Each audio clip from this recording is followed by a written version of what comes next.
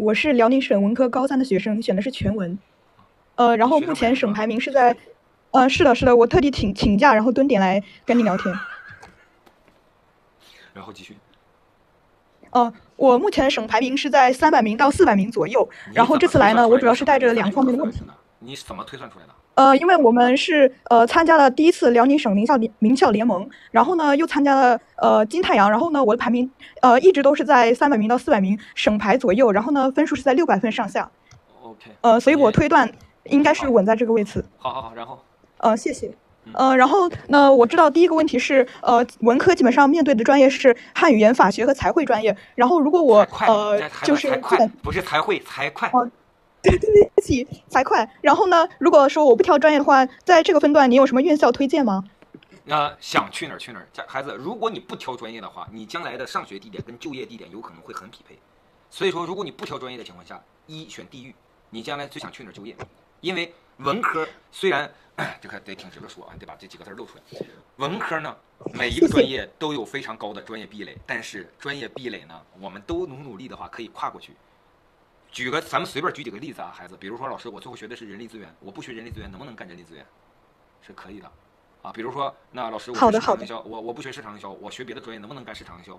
其实也是可以的。所以说，文科专业的专业壁垒呢，虽然很高，但是想跨还是努努力可以跨过去的。所以说，你一定要看经济发达与否，因为文科专业将来从事的行业可能，呃，都不是服务业啊。然后的话呢，呃，他所从事的行业是很吃当地经济的。如果当地经济发展好，他的从业空间相对比较大；他当地经济发展不好的话，他从业空间就没有那么大。所以说的话，如果你不挑专业的话，文科报志愿应该是一挑城市，二挑院校档次，专业是最不重要的。然后记住，如果说你真的不挑专业，你按照我说的，先选了城市，再选了院校。不管学什么专业，一定要去在学校双修一个财会的二学位。好的，老师，呃，我知道了。那么我这次呃带来的第二个问题呢，就是有一些我怎么感觉跟接受采访一样呢？然后第二个问题什么？哦，是。呃，我希望能够快一点。呃，就是我其实对于呃公务员或者呃财会这些专业都有一些自己的思考。呃，因为我呃了解到，就是我们从高中毕业到研究生毕业，呃，大概会有七年左右的这个时间。呃，但是目前这个其实国内的形势它变化比较大。呃，这七年形势它会有一个波动。呃，那么这段时间内我预测会发生一些产业转型，呃，货币上的一个呃贬值吧。然后呢，财政负担它会有一些加重。那么我预测的话，如果是进入考公考编这个赛道的话，呃，它最好的情况是。面临的是国考、省考，它的难度加大，录取人数减少。呃，那么最坏的可能有可能是，呃，这个铁饭碗它其实有可能就是不太铁了。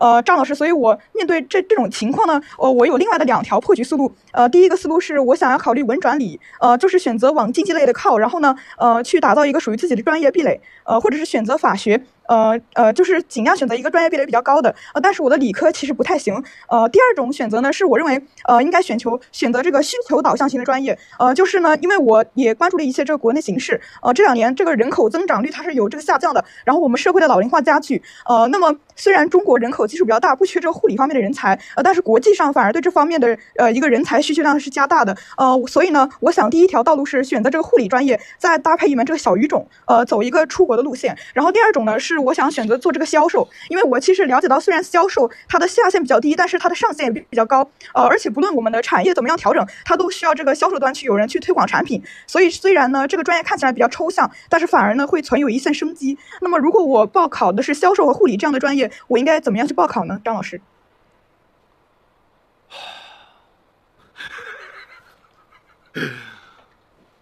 不好意思，张老师，没事我估计来。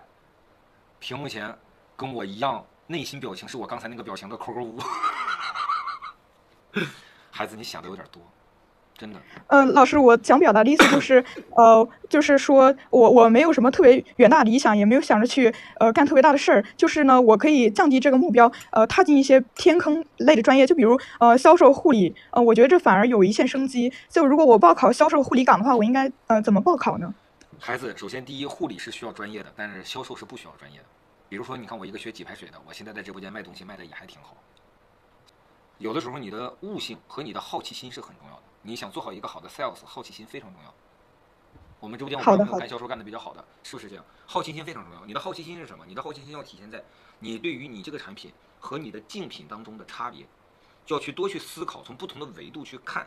你这个产品和你的竞品当中有什么样的差别。我给你举个简单的例子，刚才有个朋友一直在刷，说张老师你们的真题什么时候上链接？真题什么时候上链接？你怎么知道我们今天可能会上真题？我就给你举一个简单的例子，孩子，我们我们最近新出了一款教辅资料，就是我们的真题汇编。我们的真题汇编最大的一个特点是什么？就是所有的真题汇编都有一个所谓的答案答案册，就是有真题册和答案册。这个是我们的竞争对手其他机构的出的这个真题，它的答案册是这么厚，我们的答案册比它厚一倍。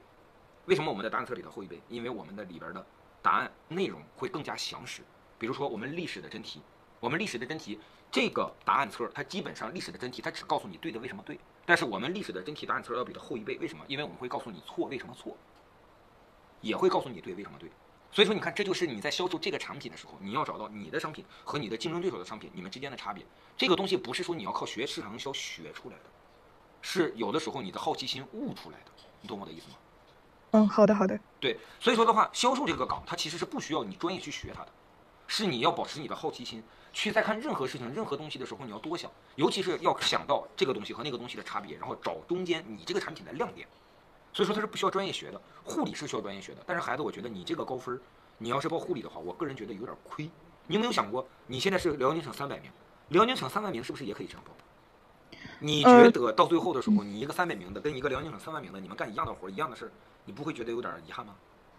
嗯，老师，其实我是想以就业为导向的，因为呃，我的家庭不太好，呃就是我的妈妈她是一个呃家庭主妇，然后我的爸爸在我高一的时候去世了，呃，所以呢，呃，就是我们家庭呃，他现在条件不太好，呃，我其实就是想要呃拿钱，然后也没有什么特别远大的理想，老师。呃，其实也是没有办法吧，因为上大学的话，它其实这个大学学费对我来说就是比较高的。嗯、我觉得护理主要是因为，呃，学了护理的话，它就嗯、呃好就业吧。就如果比如说文科，我学了一个考公考编，到最后呢，其实也呃赚不到赚不到啥钱。然后呢，这个培养的时间也太长了，呃，就是说可能我的妈妈供不起吧。孩子，我首先跟你说一点，你要相信我们这个社会的爱和暖意。我们这个社会现在不可能让一个贫困大学生因为学费的问题而失学，大家说对吗？我们这个社会现在不可能让一个贫困大学生因为学费而失学，最起码我就不太愿意让这种事情发生。所以说，有的时候很多家长说，张老师，我在你直播间，我经常看你一直在直播，一直在吃。其实我吃是要告诉大家这个东西很好吃。我旁边还有一排字，本直播间所有零食的佣金销量，它的佣金最后都要捐公益事业。我每一年。我今年在全社会捐了一百五十万，我明年我最起码要捐三百五十万。我本来说要捐三百万的，后来我这两天前两天我又承诺出去了五十万，所以说的话呢，我要捐三百五十万，然后我后年要捐五百万，然后我会帮助那些家里条件贫困的孩子大一第一年的学费，因为我知道你们起步会很难，但是你只要在大学里边好好学习，你大二大三大四你的奖学金是足够支撑你后边的学费的，甚至如果你拿了国家奖学金的话，你的生活费都能走出来，而且你一旦上了大学以后，你有很多机会去做兼职。我当年上大学的时候，我家里条件也不好，但是我做了很多的兼职。我上大学期间，除了杀人放火以外，其他的兼职我基本都干过。我当过辅导班带代理，我卖过相关的书籍。我当时我挣的第一桶金是在我们学校卖书。然后的话呢，当过辅导班的代理，然后的话甚至还送过外卖，然后这个去去这个小学、初中、高中的教培机构去当老师，就是除了包括做外场主持人，我能想到的一切的兼职，我基本上上大学我都做过。所以说，只要你自己努力，你学习上也好，还是这个社会的角度来讲，你不会失学的。这是第一点，好的好的然后第二点就是的话，你现在成绩这么好，不要，我个人觉得家长孩子，我是你的话，我可能真的会去选法学。嗯、老师，我之前关注过呃一一些其他人关于法学方面的咨询，嗯、不是说法学它这个东西呃比较靠资源吗？嗯、所以的话我不太敢触碰。如果有金融、财会、法学这三个专业，靠资源最重的是金融。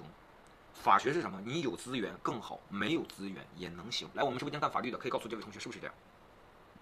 法律是有资源更好，没资源不是不行。金融是没资源就不行，法学是有资源更好，没资源不是不行。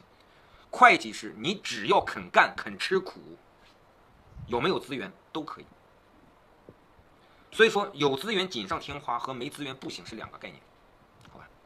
好的，嗯、谢谢您，张老师，非常感谢我要。是孩子，如果我是你的话，我大概率会一毛死法学，然后的话争取能考个公务员。因为孩子你要知道，随着中国法制化的进程，我们老百姓的法律意识是越来越高的。